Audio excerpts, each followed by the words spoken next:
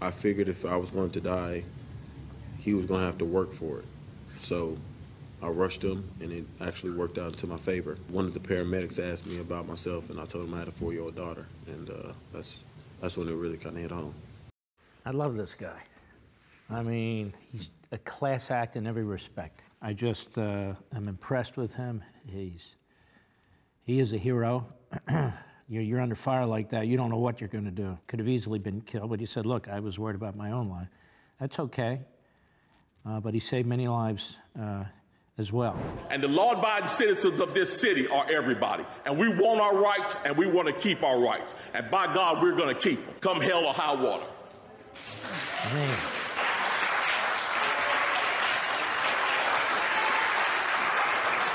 I love that guy too. He's unbelievable, is he not? That's not a professional politician.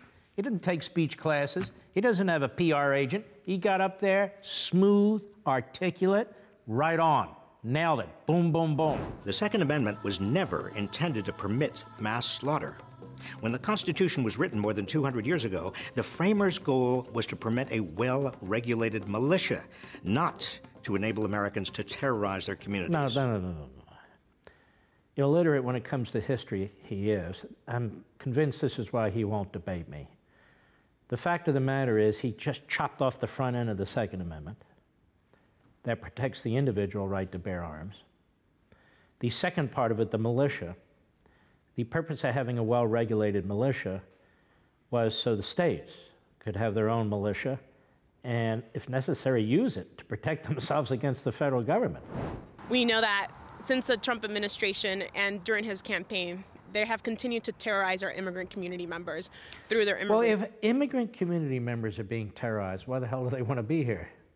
Why would you come to a country that terrorizes you? I'm so sick of the left and their self serving hate speech and propaganda. They do not support securing the border. Then, when people get here illegally and even commit violent crimes, uh, they claim they have due process rights. Then, with the whole system is gummed up, where are all these cases going to be heard? How are they going to be heard in a timely fashion? Where will all these people live or, or reside during the course of this litigation. You see, it has consequences that are intended to drag the thing out and make it difficult, if not impossible, to deport criminals. Want to see more? Sign up for Levin TV.